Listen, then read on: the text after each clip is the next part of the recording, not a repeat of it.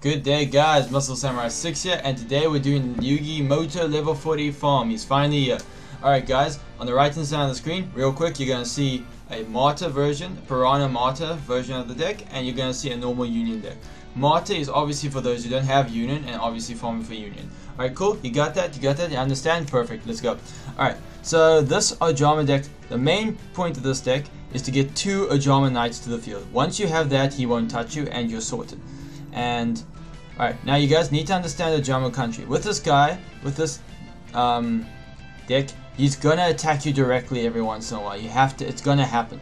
So don't panic. You play your um, Ojama Blue, you get your cards to your hand, you then you set, then you always pull a second Ojama Blue with the one from the effect. You pull Ojama Blue and then a normal Ojama.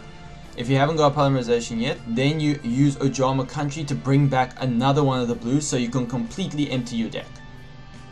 Once you completely empty your deck of monsters, that's all you have to go through.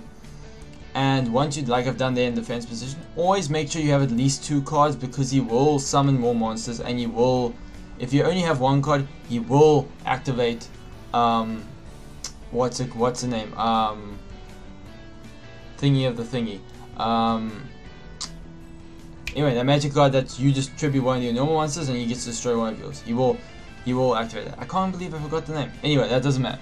Alright, so in short, you gotta do that. Make sure you have at least two monsters on the field, and you'll be fine. Once you get your second Ojama Knight to the field, he won't touch you, and you're pretty much safe at that point. And obviously, we have the Bamboo Sword just to speed it up a bit, just in case you find yourself waiting a little bit.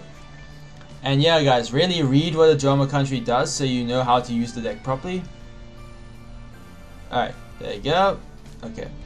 So we have to activate our gold, then we activate our gold the second time, and then we activate our gold the third time. That's the whole deck emptied out. That didn't take long. That's quick. Polymerization. You always use your Ojama Knight as a tribute. So you can always, then you can use the Ojama Country to bring back your second one. Always do it in that, always do it in that order, and then you have no problems. And best thing is, unlike the he used to, unlike he used to have, he used to have Sphere Kuriboh. In this one, he doesn't have Sphere Kuriboh in his hand. So you are, or he will never have Sphere Kuriboh in his hand. So you're safe. Well, from what I've seen so far, and I've played about maybe six duels already at this point, and I haven't ever come up across that. And yeah, don't worry, you don't have to worry about being hit by um, order to charge. That's it. You won't be you have to worry about that because if he's going to activate, he's not going to activate when you attack. He's going to activate long before then. Alright, cool. That's the duel. We're done. Alright, cool. Alright guys, thank you for watching. Don't forget to like and subscribe. And since this was a um, replay, you can see me get our record. I recorded the points being given to me. Alright.